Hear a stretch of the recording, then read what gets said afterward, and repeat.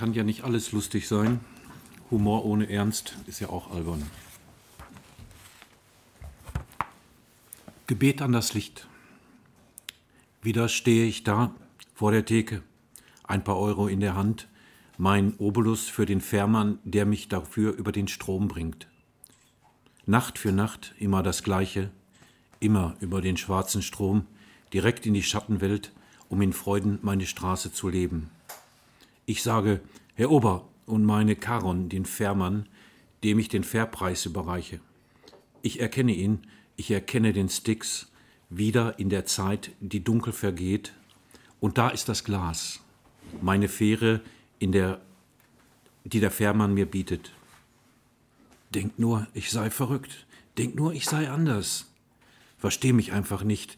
Ich kenne die Angst, die euch dazu treibt, flüstert ein Gott, der alles verstehend lacht. Ich wurde zum Minotaurus gehörend, gekrönt und würde gerne von Jungfrauen leben, die sich mir freiwillig zum Opfer bringen. Oder die man mir opfert, um selbst vor mir verschont zu bleiben.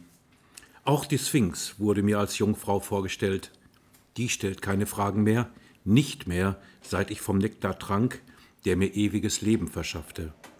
Für die Nacht, seit ich nicht mehr aufhören konnte, den Göttertrank zu trinken, dieses Teufelselixier, von dem ich dachte, es macht mich frei von Schuldgefühl und Schuld. Nachts bin ich im Labyrinth zu Haus und kenne den Weg zu Hades und Persephone, dem Fürsten und der Fürstin aller Nachtkreaturen, und sind sie auch gnadenlos in ihrer Macht, so behandeln sie doch jeden gleich in der Schattenwelt. Der Weg in die Hölle führt immer durchs Labyrinth. Abschüssig sind die Wege dort, steil fallen sie ab zum Tantaros. Äh, Im Fall erfasst mich der Schwindel und ich falle täglich, nächtlich. Wie ein Kind dachte ich, dass Schatten in der nächtlichen Dunkelheit unsichtbar sind. Pandora, deren Krug der Nektar entspringt, war schon vor Jahren bei mir. Ich habe sie nicht erkannt, denn sie war mir vertraut, so lieblich, so reizend und verführerisch, als sie kam, mich hörnte und ins Labyrinth verführte. Sie kam am Abend ohne Büchse. Was sie brachte, befand sich in Flaschen. Eine Flasche, eine Flasche und noch eine Flasche. Es war das Wasser der Lethe, der Strom der Vergessenheit, aus dem ich seitdem trinke mit Erfolg. Grausam erfüllt sich das, die Prophezeiung des Mopsos, der unterhalb der Brust der Göttin saß, aus der er die Zukunft sog, das Orakel erfüllend, das ich selbst mir geworfen hatte. Auf Aphrodite, die ich nie wieder sehen werde, verzichte ich und tröste mich stets mit der Frage, was ist schon Schönheit im Dunkel der Nacht?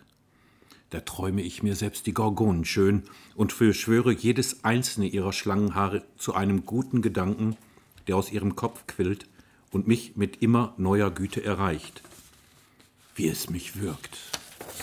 Ich fühle es nicht. Auch erstarre ich nicht mehr, wenn ich Medusa sehe, denn ich sehe sie nur im Spiegelbild meines Glases. Ich bin Perseus, Perseus der Xte, und werde sie benutzen, bevor ich sie töte. Irgendwann. Ich werde das Glas als Schild gebrauchen. Es geht mir gut. Ich fürchte nichts, solange der Tag sich nicht am Horizont zeigt, solange kein Schimmer seiner Existenz in meine Augen sticht, denn dann erst werde ich wieder Minotaurus und begebe mich in mein Labyrinth, in dem ich nicht verloren gehe, solange der Tag mich wiederfindet. Immer. Ich weine. Meine Tränen brennen scharf auf den Wangen als Nachgeburt der Nacht. Ich fürchte den Tag und fürchte meine Furcht am Tag vor der Nacht. Möge das Tageslicht mich endlich ganz durchdringen, möge das Licht mich zum Leben erwecken. Ich will doch leben, möchte erkennen und Gewissheit statt Hoffnung.